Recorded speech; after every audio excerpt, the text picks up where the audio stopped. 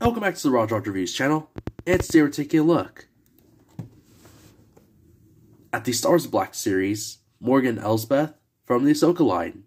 Looking at the front of the box, you get the figure that is included, and here you get the name of the line that the character is from, and their name down here. And on the side of the box, you get this amazing artwork of Morgan Elsbeth. And like I mentioned before,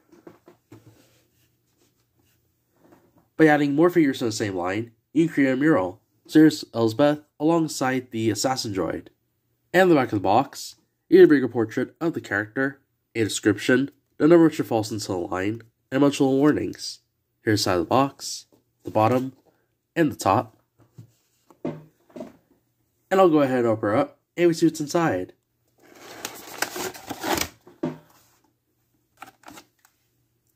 Here she is, Algaro plastic. And here she is of the box. And look at her up close. She looks pretty good. I like the uh, outfit. Matches up very much with what we've seen in the series so far. And of course, I'll go ahead and review from top to bottom. Look at the head. It looks very nice. And again, Hasbro nailed it with the photoreal tech that they used for her. Looks very much like the actress. You see she has printing in the eyes, the eyebrows, and she has like this tattoo or this mark here on her forehead, but the hairstyle looks amazing.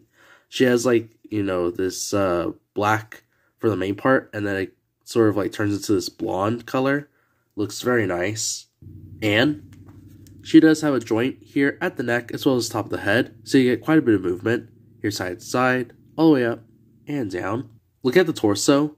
She has this like kimono style outfit and on the top she has like this very dark maroon uh color for the uh top of her outfit.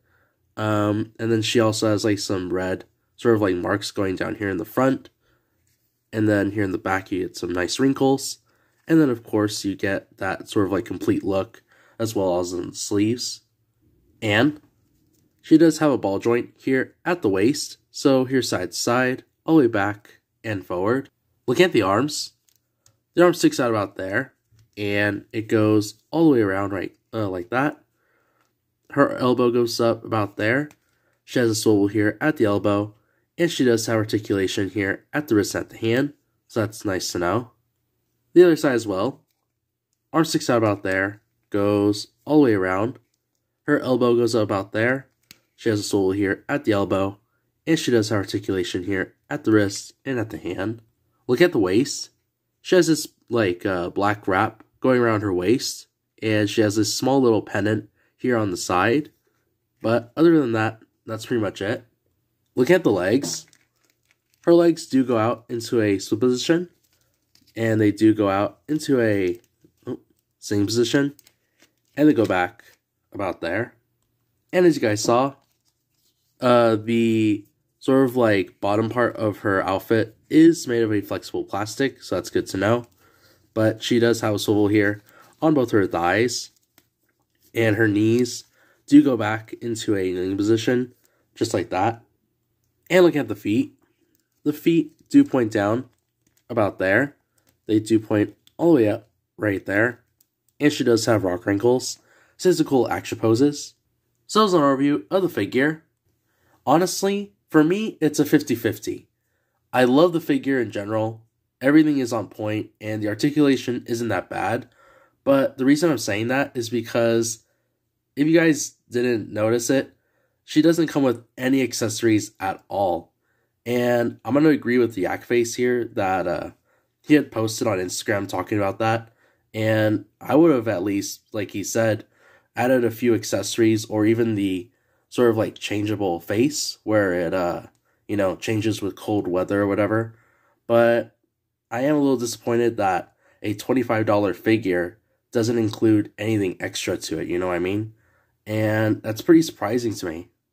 And I know this after, you know, Mandalorian and things like that, but I can already tell you guys they're gonna re-release this character and have her with the little staff, and that's pretty much it. I can already tell.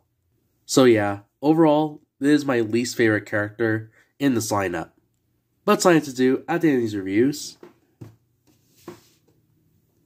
Make sure you guys have a display of figures. having the box in the back, and the figure in the front. But I'm going to leave here and say if you enjoyed the video, be sure to leave a like. And if you like the content you see here on the channel so far, be sure to subscribe. And be sure to follow me on my Instagram page. Hope you guys have an awesome rest of your day. And I'll catch you guys on the next one.